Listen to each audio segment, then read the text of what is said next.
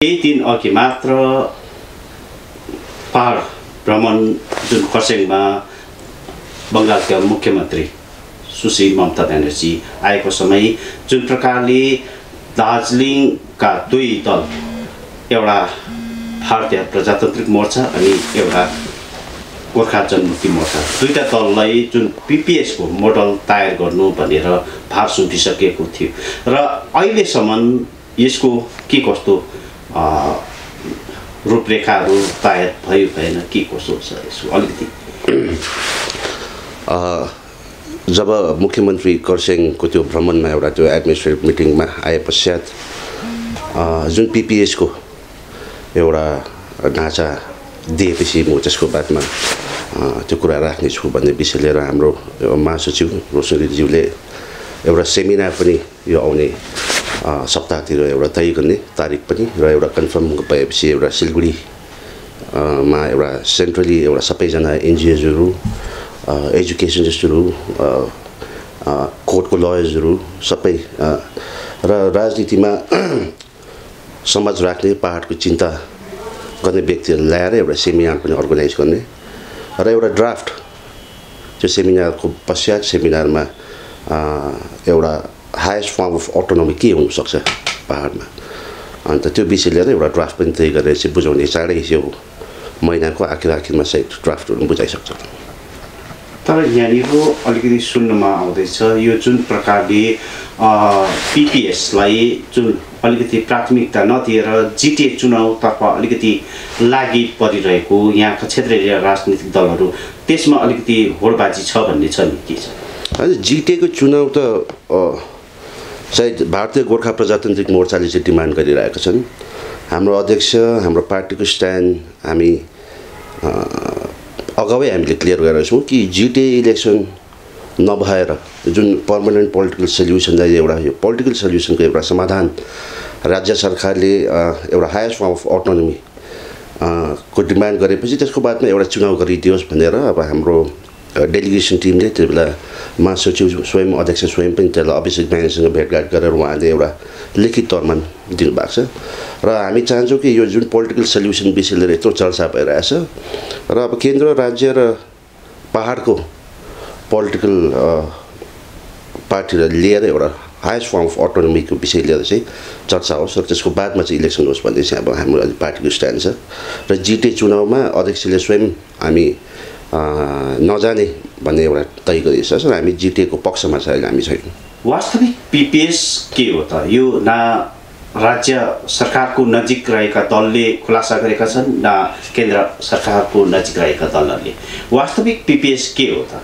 यहाँनिर पहाड तराई डुवर्सको दीर्घकालीन माग भनेको छुट्टै राज्य गोर्खाल्यान्ड र यो पिपिएसमा यसलाई गोर्खाल्यान्ड छुट्टै राज्य गोर्खाल्यान्डले लिएर यसलाई मोडल तयार गरिँदैछ या के हो? यो पिपिएस वास्तविक के हो? या पिपिएसको खुलासा भएको छैन नि? होइन अब यो पर्मानेन्ट पोलिटिकल सल्युसन दुई हजार उन्नाइसमा यो शब्द त्यति बेला हामी स्वयं पनि त्यसलाई भारतीय जनता पार्टीको एउटा अलायन्स पार्टनर थियौँ। र त्यसरी नै अन्य दलका साथीहरू जस्तो जिएनएलएफका साथीहरू अन्य अन्य ठुला साना जति पनि पार्टीहरू थिए त्यस समय उन्नाइसको इलेक्सनमा एउटा मेनिफेस्टोमा नै एउटा पर्मानेन्ट पोलिटिकल सल्युसन हुनुपर्छ भनेर यो बिजेपीले जन्माएको शब्द हो। र आजको दिन पनि यो शब्दमै सीमित नै छ। आजको दिन केन्द्र सरकारले पनि नाखुलासा गरे। अ, राज्य सरकारसँग पनि जुन यो पिपिएसको विषय लिएर चर्चा त्यो पनि एकदमै क्लियर छ कि के दिने भने। र हामी चाहिँ अब यही चाहन्छौँ कि यो पर्मानेन्ट पोलिटिकल सल्युसन जुन राज्यले दिने पनि एउटा यो हुनुपर्छ भन्ने एउटा क्लियर कट एउटा कुरा होस् भन्ने हामी चाहन्छौँ। अ, यदि केन्द्रले दिने पनि पिपिएस उहाँको केही छ भने केन्द्र राज्य र यहाँको स्टेक होल्डरसँग बसेर चाहिँ कमसेकम यो चाहिँ तय होस् कि अब यो पर्मानेन्ट पोलिटिकल सल्युसन को नाम चाहिँ के हो? एउटा तय हुने हो। र एउटा हायेस्ट फर्म अफ अटोनोमी जुन हामीले भनि चाहन्छौँ कि अब यसमा धेरै अरू अरू विषयवस्तुहरू पनि छ। र यसलाई चाहिँ एउटा स्पेल आउट गरोस् सरकारले भन्ने कुरा चाहिँ हामी अब त्यसमा लागि परेका छौँ। सिक्किम एकीकरण मञ्च दार्जिलिङ सिक्किम एकीकरण मञ्च। दार्जिलिङको भूभाग सिक्किममा विलय हुनुपर्छ भन्ने उहाँहरूको एउटा अडन माग र जिआरसी। दुई दलले नै सिक्किममा यो भूभाग सरकारलाई विलय गर्नुपर्छ भन्ने उहाँहरूको माग। र हिजो मात्र जिआरसीको पक्षबाट एउटा स्टेटमेन्ट जारी गरेको छ र यो पिपिएस केन्द्र सरकार राज्य सरकार तयार छ सिक्किम सरकार अलिकति यसमा चासो देखाएको छैन यो सिक्किममै विलय हुने सम्भावना सङ्केतहरू दिइरहेछ यसमा के छ हेर्नुहोस् यो ठुलो सब्जेक्ट हो है सिक्किममा मर्जर हुनुपर्ने भन्ने विषय लिएर जुन दलहरू आजको दिन पनि लागि परेको छ र अब यसको पोसिबिलिटिज पोसिबिलिटी चाहिँ छ छैन यथार्थ यो कुराहरू यो कुरा बुझेर राज्य र केन्द्रले सायदै यसमा केही पनि एउटा स्टेटमेन्ट जारी गरेको जस्तो छैन अहिलेसम्म र सिक्किम गभर्मेन्टको सरकारको हेराइ यो प्रति के छ त्यो बुझेर किनभने कुनै पनि आजको दिनसम्म हाम्रो सुझबुझमा कि आज सिक्किम सरकारले यो विलय विषय लिएर चाहिँ त्यति उहाँ हाम्रो पक्ष लिन्छ जस्तो लागेको छैन। र हेर्दैछौँ यसमा अब राज्यको भनाइ के हुन्छ केन्द्रको भनाइ के छ यहाँका जति पनि दलहरू छन् दलहरूका भनाइ के हुन्छ? र भोलिको दिन यदि त्यो मर्जर चाहिँ पोसिबल छ भने लेट्सी त्यो एउटा समय आएपछि त्यो होइन यो सिक्किममा विलय नहुनु सिक्किमले आफ्नै भूभाग फेरि वापस नलिनु के जस्तो लाग्छ तपाईँलाई? अब त्यो त सिक्किम स्टेटको कुरो हो। सिक्किमको उहाँको त्यहाँको राजनीतिक दलहरूले बुझ्छन्। र अब हामीले कुनै पनि एउटा पोलिटिकल पार्टीबाट हामीले यो हुनुपर्छ भन्नुको लागि त्यसको लागि अब हाम्रो पनि होमवर्क जुन इतिहासहरू कोटाउँदाखेरि काहीँ न काहीँ यो भूभाग चाहिँ अब सिक्किमको हो भन्ने त एउटा तपाईँको लिखित तौरमा एउटा त छ त्यसमा कतिवटा हाम्रो भूभागहरू छ भन्ने विषय लिएर। तर अब यसमा हेराइ किनभने काहीँ न काहीँ सिक्किम सरकारमा पनि एउटा राजनीतिक दलहरू छ। त्यसमा अब उहाँहरूको दललाई फाइदा पुग्ने नपुग्ने विषयवस्तुहरू किन एउटा पोलिटिकल पार्टीलाई हमेसा हुन्छ। र हेर्दैछौँ यो विषय लिएर अब कुनै पनि सरकारहरू सिक्किम सरकार होस् राज्य होस् तपाईँको केन्द्र सरकारले यस विषय लिएर यदि अगाडि बढाउँछ भने हामी त्यसमा अहिले टिप्पणी गर्नु त मिल्दैन तर हामी त्यसलाई वेलकमै गर्छौँ। यो राज्य स्तरीय पिपिएसको जुन मोडल रूपरेखा तपाईँहरूले जुन तयार गर्नुहुँदैछ है यसमा के यो छुट्टै राज्य गोर्खाल्यान्डलाई लिएर तयार गरिँदैछ या के कस्तो? राज्यलाई हामीले छुट्टै राज्यको विषय लिएर हामीले एकदमै दिएको छैनौँ त्यो कुरा स्पष्ट हो किनभने राज्यलाई हामीले आजको दिन छुट्टै राज्यको माग गर्नु भनेको चाहिँ अब त्यो एकदमै नहुने चिजै देखिरहेको छौँ र आजको दिन केन्द्रले पनि जसले दिनुपर्ने हो खास छुट्टै राज्य जसको हातमा थियो उहाँहरू पनि इमान्दारी नदेखा नदेखाएपछि हाम्रो जुन मागप्रति अब हामीले स्टेटमा हुनसक्ने हाएस्ट फर्म अफ अटोनोमी जे हुन्छ best so best of the best चाहिँ आउटकम निस्किन्छ त्यस पिछले चाहिँ तर त्यसलाई पनि स्पेल आउट चाहिँ राज्य सरकारले गरोस् भनेर चाहिँ अब हामी त्यसमा लागि परेको छौँ। राज्य स्तरीय नै एउटा व्यवस्था छैटौँ अनुसूची पनि हुने सङ्केतहरू सुनिँदैछन् के छटो सिक्स सेड्युल त हेर्नुहोस् अब त्योभन्दा अगाडि अब हाम्रो जनजाति विषय लिएर कुरा गर्नु पऱ्यो नि। सिक्स सेड्युल आजको दिन यहाँ लागू गर्नु अगाडि यो जति पनि छुट्टिएका यो समुदायहरू छ यो जातहरू छ यसलाई ट्राइबल स्टेटस बनाए पश्चात त्यसको बादमा चाहिँ त्यो एउटा क्राइटेरिया फुलफिल हुन्छ। अनि त्यसको बादमा त्यति बेलाको समयमा जब हामीले यो एघारवटा जात गोष्ठीहरूलाई एउटा ट्राइबल बनाए पश्चात त्यसको बादमा यदि सिक्स सेड्युलको फर्मेसन हुन्छ भने त्यसमा पनि अब विषयवस्तु त्यसमा पनि चर्चाको विषयहरू हो। र त्यति बेला हेरौँ तर सिक्स सेड्युल हुनु अगाडि चाहिँ यदि त्यस्तो उहाँले सोचेको छ भने चाहिँ यो लेफ्ट आउट कम्युनिटिजहरूलाई चाहिँ ट्राइब बनाएको हुनुपर्ने चाहिँ एउटा हाम्रो माग हो। यहाँनिर धेरै राजनीतिक दलहरू नगरपालिका चुनावको लागि कसरतमा लागि परेको छ। तपाईँहरूको पार्टी पक्षबाट के कस्तो छ यसको हाम्रो पनि विगत चार पाँच दिन अगाडिदेखिको एउटा वार्ड कमिटी फर्मेसनहरूदेखिको लिएर बत्तिसवटा वार्डमा हाम्रो जति पनि दार्जिलिङ नगरपालिकामा होस् जस्तो मिरिकमा होस् हामीले वार्ड कमिटी फर्मेसन गर्दछौँ र यदि चुनाव हुने त्यस्तो एउटा नोटिफिकेसन त जारी भएको छैन सरकारको तर्फबाट तर पनि यो टर्म जहाँसम्म अप्रिल मेसम्म एउटा विगतको बोर्ड चलिरहेछ र त्यसको लागि हाम्रो पार्टीको पक्षबाट हामीले एउटा वार्ड कमिटी फर्म गरेर हाम्रो जति पनि क्याडर छ बसेर हाम्रो के कसो छ त्यो वार्डमा हाम्रो भन्ने विषयले चर्चा एभ्री नै भइरहेछ र अब आउँदो दिनमा अझै यसलाई अलिक गति बढाउने चाहिँ हाम्रो पार्टीको पक्षबाट छ। एकतर्फ यहाँनिर झन्डाको राजनीतिकमा जनसमर्थन बटुल्ने होडबाजी देखिरहेको छ भने यहाँनिर तपाईँहरूको पार्टी गोर्खा जनमुक्ति मोर्चा पार्टी माथि यहाँका क्षेत्रीय राजनीतिक दलहरूको गिते नजर पनि परिरहेको छ। र यो जुन तपाईँहरूको पार्टीमा दिन प्रतिदिन राजीनामा दिने पहिरो चलिरहेको छ नि यसलाई कस्तो प्रकारले होइन अब पाहाडमा एउटा जुन यो मल्टी पार्टी सिस्टम जुन एउटा नयाँ चिज देखिरहेछ किनभने हिजोको दिनहरूमा हामीले देख्यौँ के अनुभव गरेको छौँ भने एउटा जिएनएफले एउटा लामो समयसम्म उहाँहरूले रुल गर्नुभयो। त्यसको बादमा दुई हजार सातदेखि यता एउटा गोर्खा जनमुक्ति मोर्चाले थियो एउटा द हाइएस्ट त्यो पिकमा पनि हामी त्यो पार्टी पुग्यौँ। र अहिले जुन हिसाबको उन्नाइसको यता भनौँ न सत्रको आन्दोलनको यता जुन हिसाबको पार्टीमा त्यो चेन्जेसहरू आइरहेछ र अब एउटा मल्टी पार्टी सिस्टम भएपछि अभियस हो सबैजना आफ्नो आफ्नो क्याडरहरूको आफ्नो आफ्नो चाहनाहरू हुन्छ कतिवटा त्यो विषय लिएर पार्टीमा दल चेन्ज त भइ नै रहेछ। र सायद हुनसक्छ हाम्रो साथीहरू आजको दिनसम्म गोर्खा जनमुक्ति मोर्चालाई यत्रो समय उहाँले समय दिनुभयो उहाँले इमान्दारीपूर्वक काम गरेर उहाँले हुनसक्छ।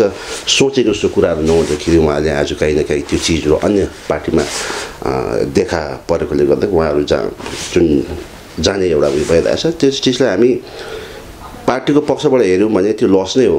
हामी त्यसलाई एकदमै स्वीकार्छौँ त्यो कुरालाई। तर अब यो चिज चलिरहेछ किन? अन्य दलका साथीहरू फेरि हाम्रोमा पनि जोइन भइरहेछ हाम्रो फेरि अर्को दलमा गइरहेछ। यो सिस्टम यो चलिबस्छ। अझै यो इलेक्सनको माहौलमा अझै यसको गतिहरू अझै बढ्नेछ गोर्खा जनमुक्ति मोर्चा पार्टीले दिन प्रतिदिन जनसमर्थनहरू गुमाउँदै गइरहेछ र अन्तमा गोर्खा जनमुक्ति मोर्चा पार्टीको अस्तित्व रहँदैन भन्ने पनि यहाँ क्षेत्रीय राजनीतिज्ञहरूको छन् भनाइ छन् होइन उहाँहरूको क्लेम होला। जबसम्म यो झन्डा छ जबसम्म अध्यक्ष विमल गुरुङ छ जबसम्म एउटा हाम्रो एउटा यस्तो कुनै जग्गा छैन कि हाम्रो आजको दिन क्याडर नभएको भन्ने सब सबै जग्गा हाम्रो क्याडरहरू बसिरहेछन् र धेरैजना साथीहरू आज पार्टीमा त्यागेर गए तापनि यो अस्तित्वै हराउने भन्ने कुरोलाई चाहिँ हामी पक्कै मान्दैनौँ। किनभने अन्य दलका साथीहरू पनि त्यसरी नै हामीसँग जोडिरहेछ र आउने दिनमा अझै जुन यो भल पहिरो कुरो चलिरहेछ अन्य दलका साथीहरू पनि छोडेर हाम्रोमा त्यो आउने एउटा पाइपलाइनमा हामीले तयारी बनाइरहेको छौँ र आउने इलेक्सन अगाडि त्यो चिजहरू हामी प्रमाण पनि गरेर देखाउनेछौँ। पछिल्लो समय तपाईँहरूकै पार्टी है कर्मठ सदस्य रहेर लामो समयसम्म काम गरेका पूर्व तपाईँहरूकै सदस्य भनौँ है पार्टीका विनय तामाङज्यूले लामो समयसम्म तपाईँहरूको पार्टीमा समय दिएको थिए त्यसपछि दुई हजार सत्रमा उहाँले यसलाई अलिकति अर्कै रूप लिएर गोर्खा जनमुक्ति मोर्चा टू भनेर उहाँले फेरि त्यसलाई अर्कै रूपरेखामा तयार गरे त्यसपछि उहाँले पार्टी त्यस गोर्खा जनमुक्ति मोर्चा टूलाई पनि उहाँले अन्त गरेर तेस्रो अध्याय तेस्रो अध्यायमा उहाँले तेस्रो अध्याय टिएमसीमा समर्थन गरेर तेस्रो अध्याय सुरु गरिसकेको छ। र उहाँले स्पष्ट भनिरहेको छ केही दिनको स्टेटमेन्ट अघिको मात्र थियो। उहाँले चारै थुम्का पहाडमा अब टिएमसीको नै राज चल्ने जस्तो एउटा सङ्केत दिइरहेछ होइन उहाँको त्यो कन्फिडेन्स चाहिँ हामी स्वागतै गर्छौँ। र उहाँको त्यो तेस्रो अध्याय जब टिएमसीमा सायद चौबिस तारिकतिर होला उहाँले जोइन गरेपछि मैले पर्सनल तौरमा उहाँलाई मेसेज पनि गरेँ कि उहाँको एउटा यो नयाँ जुन एउटा जर्नी छ उहाँलाई एउटा बधाई पनि दिएँ शुभकामना पनि। र हेर्नुहोस् एउटा राजनीतिक दल भएपछि म स्वयं पनि आज गोर्खा जनमुक्ति मोर्चाको एउटा कार्यकर्ता भएपछि हामी डल्लै थुम्कामा हामी जित्छौँ भने हामी किन हामी एउटा पोलिटिकल पार्टी हो त्यो सबैजनाले नै गर्ने गर्छ। तर यथार्थ कुरो चाहिँ त्यो इलेक्सनको दिन जब रिजल्ट आउँछ त्यसको बाद मात्रै प्रमाण हुन्छ कि कुन चाहिँ पार्टीको वर्चस्व रहेछ भन्ने। र त्यो अब आउँदो दिनको चुनावमा उहाँले त्यो जुन दाबी गर्नुहुन्छ त्यो विश्वासलाई कन्फिडेन्सलाई हामी सम्मान नै गर्छौँ। र त्यो दाबी हामी पनि गर्छौँ कि गोर्खा जनमुक्ति मोर्चाले यदि चारैवटा नगरपालिका यदि भोलिको दिन इलेक्सन भएछ भने हामी चारैवटा नगरपालिकामा हामी विजय भएर देखाउँछौँ भन्ने त्यो कन्फिडेन्स हाम्रोमा पनि छ। केही दिन अघि मात्र हाम्रो पार्टी भनेर जुन एउटा नाम घोषणा गरेर अहिले अजय एडवर्डज्यूले जुन चलाइरहेको पार्टी छ है हाम्रो पार्टी। साइलेन्स मेजोरिटी हामीसित छ र अन्य दलहरूमा यो साइलेन्स मेजोरिटी छैन भन्ने उहाँहरूको अडल छ। होइन साइलेन्ट मेजोरिटी कुनै एउटा पक्षको त हुँदैन नि त। होइन त्यो साइलेन्ट मेजोरिटी भोलि हुनसक्छ एउटा सर्टन सेक्सन अजय भोटज्यूलाई सपोर्ट गर्ला त्यो साइलेन्ट मेजोरिटीले हुनसक्छ भारतीय प्रजातान्त्रिक मोर्चालाई सकौँलान् हुनसक्छ त्यो साइलेन्ट मेजोरिटीले। फेरि पनि गोर्खा जनमुक्ति मोर्चालाई जुन आजको दिनसम्म यत्रो सालसम्म उहाँहरूले अब यस पार्टीलाई विश्वास गरे हुनसक्छ त्यो वेभ त्यति बेला।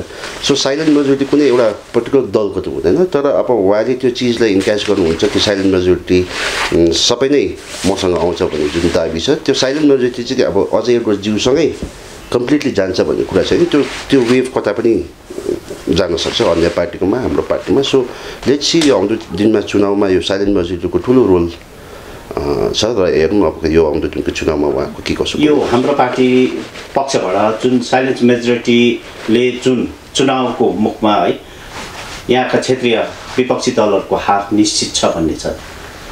होइन हेर्नुहोस् सर एउटा राजनीतिक पार्टी भएपछि हामी आउने चुनाव हार्छौँ त कसैले भन्दैन नि त। र हामी कसैले सबै यो इलेक्सनमा हामी हाबी हुन्छौँ जित्छौँ भने उहाँको त्यो चिजलाई हामी रेस्पेक्ट गर्छौँ नि। तर अल्टिमेटली गएर इलेक्सन कन्टेस्ट गर्नै पऱ्यो चाहे त्यो गोर्खा जनमुक्ति मोर्चा किन नहोस् चाहे त्यो हाम्रो पार्टी किन नहोस् चाहे हिल टिएमसी अहिले तपाईँले भने सो सो लेट्स सी त्यो इलेक्सनको बेलाको कुरो हो र इलेक्सनमा जनताले त्यति बेला कसलाई साथ दिन्छ कसलाई दिनेछन् र कसलाई अगाडि ल्याउनेछन् भन्ने त्यो जनताको हातमा छ र हामी त्यो दिन पर्खिरहेछौँ र त्यसको लागि हामी लगातार काम गरिरहेछौँ र हामीले विश्वास छौँ कि कुनै पनि आउँदो चुनावमा म कम्प्लिटली भन्दिनँ तर म्याक्सिमम् भोट चाहिँ हामीले पाएको हुन्छौँ।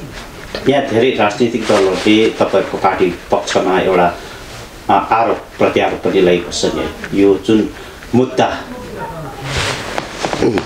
बेचिसके भन्ने आरोप छ अनि बेचेको भन्नु त मिल्दैन।